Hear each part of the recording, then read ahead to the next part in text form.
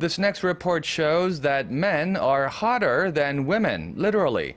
Science has proven that men, in fact, do struggle more when it comes to dealing with the heat and high temperatures. Our Kim Min-ji tells us why. The seemingly never-ending heat wave that has hit the country has made air conditioning a must.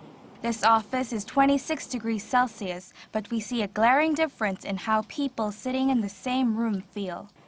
The men are busy fanning themselves while the women are wearing cardigans or even wrapped up in blankets.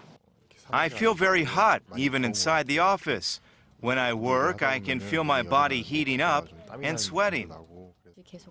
It's very cool because the air conditioning is always running. I always bring a cardigan to work. When the skin temperature of the two employees was measured, Oh's cheek temperature reached 40.6 degrees Celsius, while Hwang's was at 39.2 degrees, showing a difference of 1.4 degrees. At mercury levels of 32 degrees, men's skin temperatures increase an average of 0.9 degrees Celsius, while for women it goes up 0.5 degrees. This means that men are less tolerant to heat, while women are more sensitive to the cold. Hospital records also show that the number of male patients suffering from heat stroke is more than double that of females.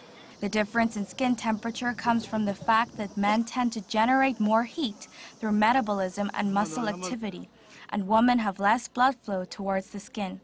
Men are said to feel most pleasant at mercury levels of 25 degrees Celsius, while women are most comfortable at 26 degrees.